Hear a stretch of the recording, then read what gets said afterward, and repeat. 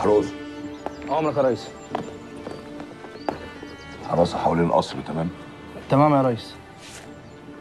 اسمع النهارده يوم صعب. مش عايز مخلوق يخش القصر في إيده سلاح ايا كان مين.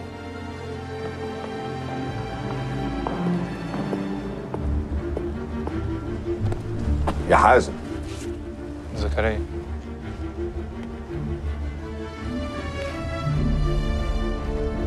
لسه بدري عليك. بدري يا خش. يلا خش جوه.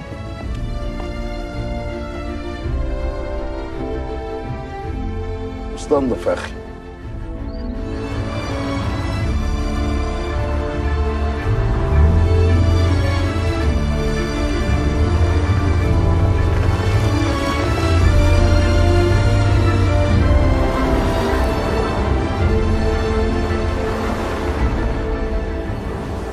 زي ما كلكم عارفين.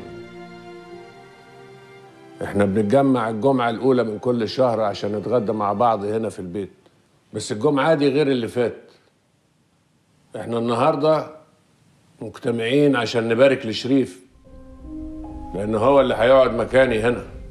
كل مال العطارين هيبقى في إيد شريف وكل اللي ليكم في رقبتي هيتنقل لرقبة شريف. وهو اللي هيبقى مسؤول عننا كلنا. عايزين نقرأ الفاتحة على كده. مش نستنى في الأول لما سليم ومراد بيه يجوا الأول يا زين؟ هما موافقين ما تقلقش يا صبري. على بركة الله ربنا يوفقه ويسدد اختار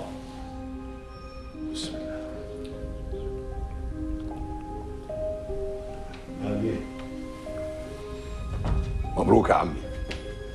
الله يبارك فيك يا حبيبي. قدها وقدود طول ما انت في ظهري. أنا طول عمري في ظهري.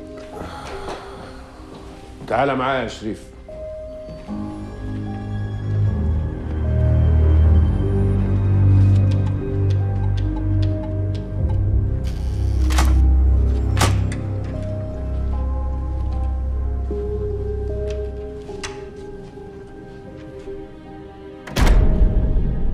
بقول لك إيه؟ مش غريبة؟ عمي أول مرة يدخل حد الأوضة دي. وهو عم شريف بقى أي حد يعني؟ مبروك يا زكريا. عمك بيجي مكان أبوك. الله يبارك فيك.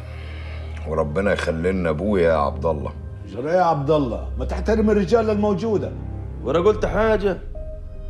أنا ببارك له يا عمي. بكفاياك يا عبد الله معلش يا عم صبري. ما أنت عارف ابنك. طول عمره بيحبني من وإحنا صغيرين. ما بلاها حكاية من وإحنا صغيرين دي. السنين لما بتكتر عليك وانت بتشقى بتزهق من عدها. لكن عشان تبني عيلة زي دي يا شريف محتاج عمرين على عمرك. ربنا يديك الصحة وطول العمر يا زين.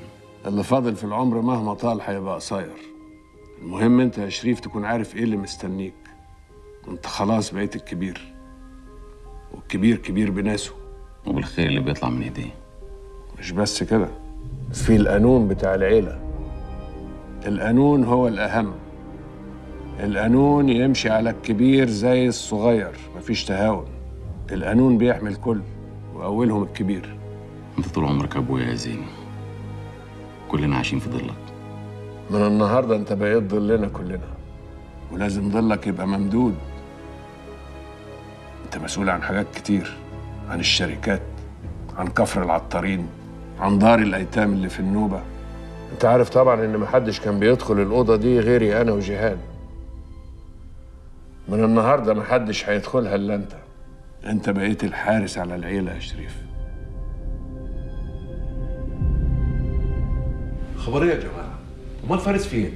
فارس بيجيب عم سليم من المطار وجاي على طول. وعمك سليم مبسوط من اللي بيحصل ده؟ جرى يا عبد الله عم سليم عمره ما فكر يبقى مكان زين العطار. طول عمره جنبه أو في ظهره. وبعد عمر طويل إن شاء الله هنشوف مين اللي هيجي مكان عم سليم. وأنا قلت حاجة؟ أنا بفهم بس. اللي أقول له هو صالح مش هيجي. هو من إمتى بيجي يا شيخ عبد القادر؟ ما أنت عارف مشاكله مع عمي. صالح جاي يا عم عبد القادر. يلا قوموا اطلعوا بره كلكم عشان ناكل. اياد استنى عاوزك.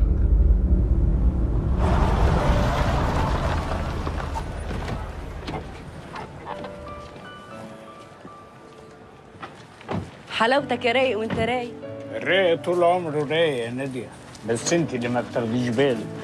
يا ريت بس الروقان ما ياخدكش وينسيك ها؟ ينسيني إيه؟ يا آخر صبر أبوك. أو أنت نسيت أهو. عايز أتجوز سلمى بنت زين. جواز إيه يا سمير يا ابني.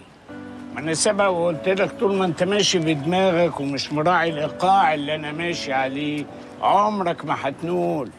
وبعدين عايزنا نروح للحاج زين العطار. أقول له تعال جوز بنتك لابني. اللي ناوي يبقى مطرب شعبي.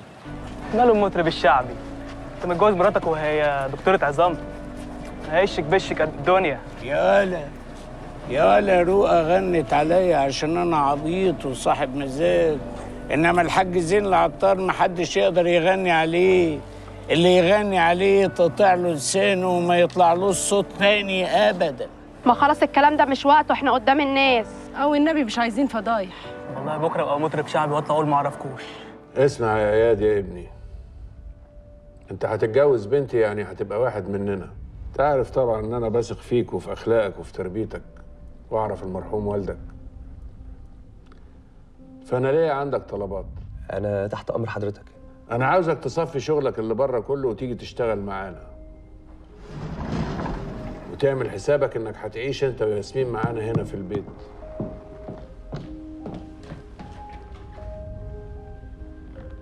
خليه يدخل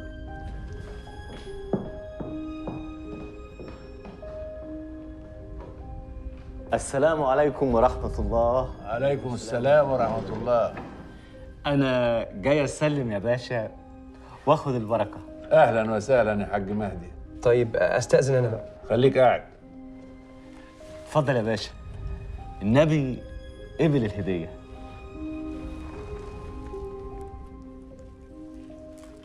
إيش إيش؟ سبحة ذهب عيار 21 سعادتك. مش مهم العيار يا مهدي المهم إنها ذهب ودي شاريها ولا موصي عليها؟ صراحة يا باشا يعني هي معمولة مخصوص وصاية يعني. بس أنا ما اشتريتش حاجة. ما هديني هدية جاية لك يعني. معاذ الله يا باشا معاذ الله. الحكاية وما فيها إن الراجل اللي عملها لي لما عرف إن أنا ههديها لسعادتك حلف ما هياخد مني الأبيض ولا أسود. وبعدين يعني الراجل مش غريب يا باشا. سيد حماد جوز أختك. هو بعينه يا باشا. بصراحة يا باشا هو هو موروث ورطة كبيرة قوي لا كانت على البال ولا على الخاطر. موضوع بتاع الشيخ العطيفي. قسما بالله العظيم اللي حصل غير اللي سمعته يا باشا. أنا ما بسمعش يا مهدي. أنت عارف كده كويس؟ عارف. عارف يا باشا. سيد حماد لعب من ورا ظهر الشيخ العطيفي. بصراحة يا باشا هي جت فيه. بس والله العظيم والله العظيم ثلاثة ما هو اللي لعب. ده الواد سهر ابنه هو اللي ورطه. جاب شوية استيكرات من بتوع العطيفي و... وخلطهم على الشغل بتاع أبوه ونزلهم في السوق على أساس إن هم بتوع العطيفي وابوه كان فين من كل ده؟ أبوه ما كانش مخونه يا باشا. برضه يعني الواد ما كانش فاتحها على البحري. ده هم يعني كام حتة كده كان ممكن يعدوا. لولا ال- الزبون اللي قفشهم وكبرت في دماغه وعمل فضيحة. هو كان لازم يعمل فضيحة يا مهدي عشان ده مش زبون. قصدك إيه يا باشا؟ الشيخ العاطفي مش راجل صغير عشان يسيب حد يلعب باسمه. تمام يا باشا ما قلناش أي حاجة.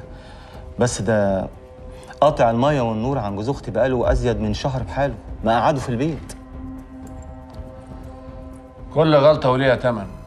ماشي يا باشا نتمن الغلطة وندفع الثمن خلاص.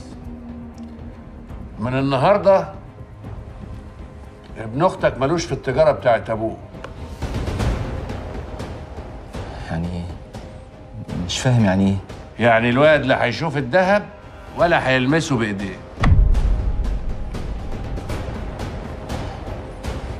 ماشي سعادتك والشغل اللي اتخلط بشغل العطيفي هتتحسب نسبته قد إيه وهيتخصم على سيد جوز أختك لمدة سنة. سنة يا باشا؟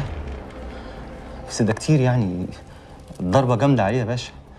الضربة دي مش هتصلب حيله ولا بعد ثلاث سنين.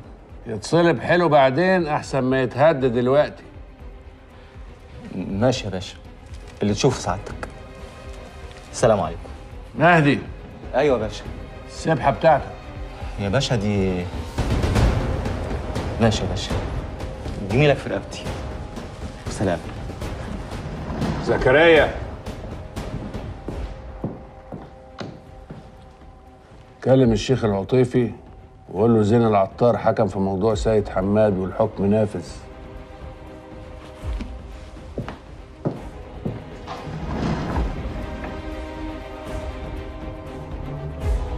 هو حضرتك عايزني أشتغل في إيه بالظبط؟ زين العطار مين يا ابني اللي بيتاجر في السلاح؟ أنت كده بتتهم واحد من أهم رؤوس الأموال في مصر.